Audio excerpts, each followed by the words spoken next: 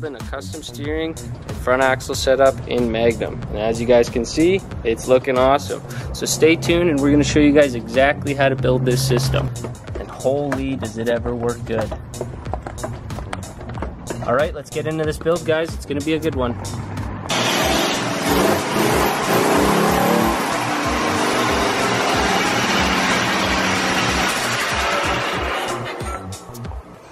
All right, look who's back in the shop. Big Magnum. And as well as Magnum's been doing, we've been planning some mods for a while. And like, I mean a while, Yeah. right? It's been a long time. There's lots of different things we're going to actually be upgrading on this, the front of this mower. As you guys have seen in the previous build series, the whole rear end on this thing is completely custom with a Peerless 820 swap into it. And it works really, really well. Phenomenal. Nothing wrong back there. All the stuff we need to be fixing is. Well, Tony, are your tires steering? no, they're not. So we're going to be fixing that, and the things we're going to actually be adding into this mower is a completely new front axle, and it's a Sears SS16 model front axle and spindles that's been highly modified, and we're going to be going all over this. So we've got a whole new front axle. We also are using the factory SS spindles because they are some of the nicest spindles you can get. They are so cool, and we're going to show you why later on in the series. We got a rack and pinion style steering Yeah. setup out of like a go kart or a golf cart setup, but we used it in Nick's mower and it worked great.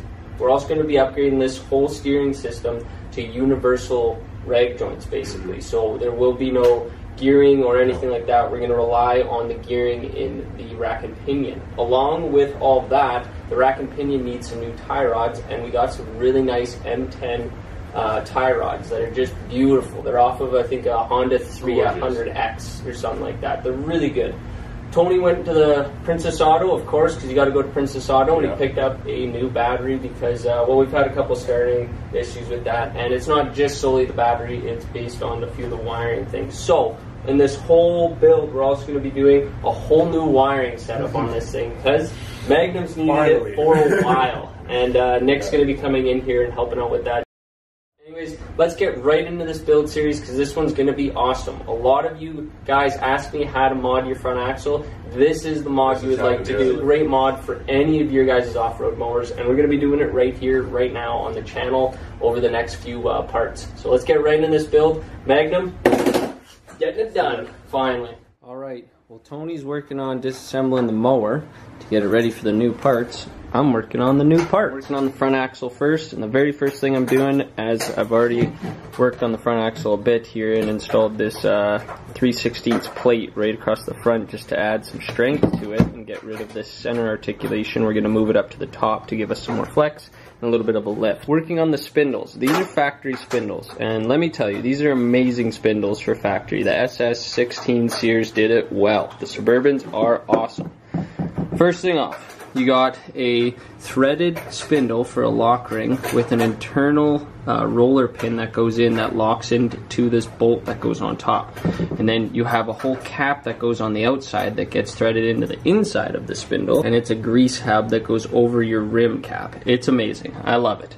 These things can always be modified even more. The first thing you need to do to any off-road mower that you're going to be putting big tires on and working on your steering and bagging on it and beating on your spindles and stuff is reinforcing. And that means adding a brace into the spindle right here. This area tends to bend or weaken over time and it can cause some really unneeded issues out on the trail. So what we're going to be doing is I took some tubing here, some 095 wall, or sorry, some 120 wall tubing, and I cut it in half. And then I'm going to bend these into place and put this right on the back side here so that this reinforces the whole spindle side and will be able to weld on the front side, both sides, and to each hub side of the spindle. So the lower part of the spindle doesn't need to be touched. The upper doesn't need to be touched on this model. I'm going to have to cut down the actual tie rod ear ends here and we're going to have to reinforce those a bit, but we'll get to that later once we actually get it on the mower and figure out where we want to put the tie rods once we get the new rack in. Let's get some more parts going. I know Tony's going to be ripping this thing apart because,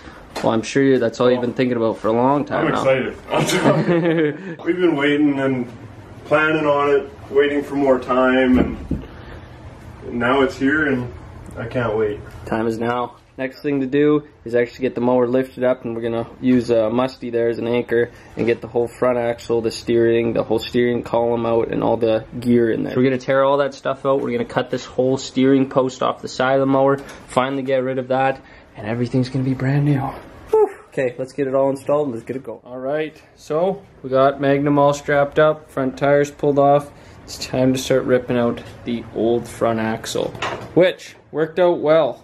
We added these little braces, as you can see in here. Those and were yeah, those, yeah, those work great. And we added these bars in here for steering stops so that the spindles can't steer more than the steering wheel. So these can't go past a certain point. Because when you enter a ditch sometimes, or you're rock crawling or wheeling or whatever it is, your spindles will want to steer over and you'll try and driving over your front axle and it'll just ruin your whole front axle and your articulation spot. So you got to fix that by adding those things in there. We've never had to tow it home.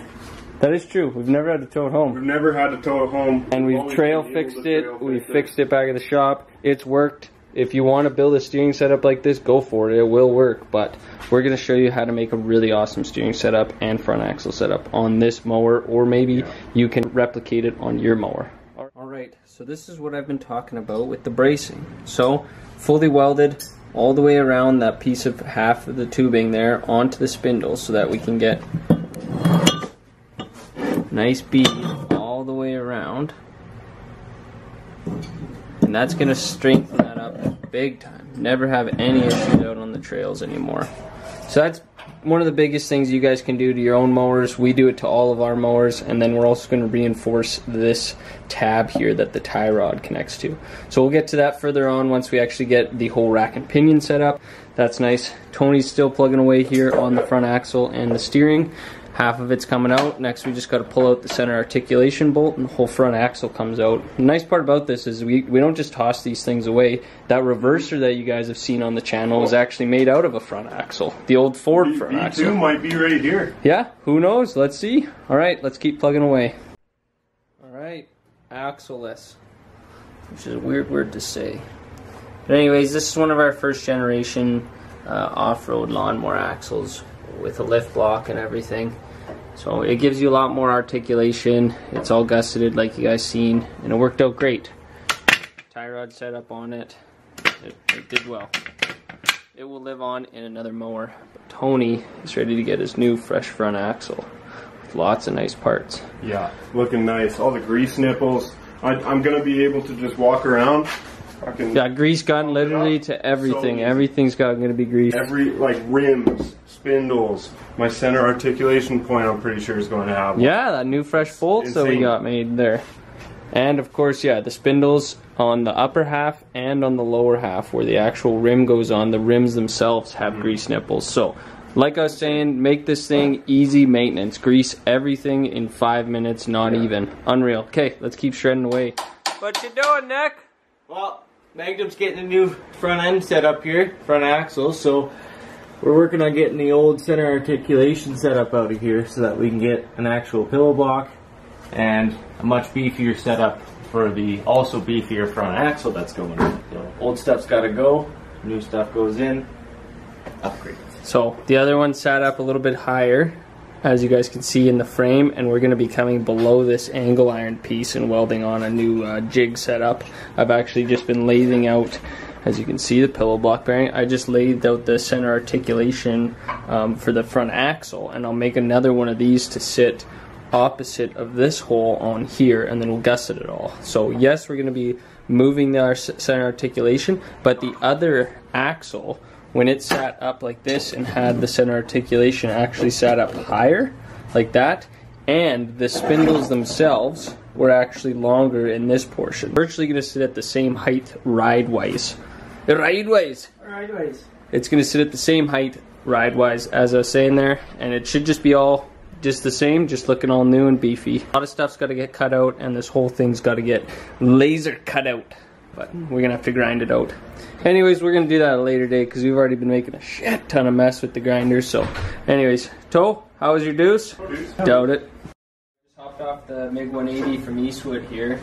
And uh, it's laid some nice beads here. We got the center articulation spot where the bolt slides in. The whole portion that hold the whole mechanism that holds the front axle to the actual frame of the lawnmower. A couple tips for you guys to figure out how to get your uh, center articulation spot in the center.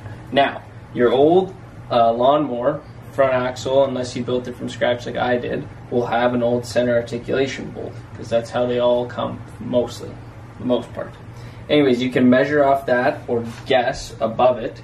We kind of do the measure from right above and then we also measure to the outsides or the insides of each spindle hole and to the outsides. And that gives us our exact dead center to our spindles then you just got to make sure it's nice and lined up this way. I usually set up a couple of these guys on there to actually hold it one on either side to hold it nice and straight. And then i have three guys here with me me tony and nick all the boys here. So i slide the bolt in. I put one tack weld in the middle. And then we all look at it about 12 to I don't know 30 times. I tack weld it again, and then I weld it all solid, and we call her a day. Anyways, the axle just now needs to get some gussets from here over to nice triangulate the cross member here or the center articulation spot. Anyways, I'm talking too much, and we need to get this in the lawnmower soon. All right, front axle is not complete, but it's fully gusseted now. I ended up lathing down some solid uh, I think it's three or five eighths bar. Sorry, if we notched it all out to fit in there, welded it all, she's gonna be mint. It's gonna work out great. While I was doing that, the boys have been working hard on the front axle as we've been talking about. As you can see, that piece I laid down will get not we notched this out so that can fit right in there. Pillow block bearing on the back. We drilled this hole out to three quarter inch, so this is gonna work absolutely great. As you guys can see, we actually added this little grease tray right here. So I just filed a little slot so that the grease can move down channel to actually grease more things. Unreal. Oh, this is all coming together. Day one is looking great. Axle is in. I'm Looking good. Looking good. We still got some gusseting to do, but everything's in there and there's no play. We got it stiff right now because we still got some grinding to do to get the axle to slide in. But as you can see, Tony's wiggling it there. And you can see there's no movement in Zero this. Zero play. It is. It is in there. As you guys can see, we have the flange bearing. We got the two bottom bolts, and then we're going to get the third bolt in, but we just got it for mock-up purposes. We're going to cut off this bottom side, and then the rack and pinion, the whole rack, will sit on the axle underneath. It's going to sit a little lower, but we're not worried. This is gonna have plenty of ground clearance. So incredible. Yeah. So first day worth of work is really, really awesome.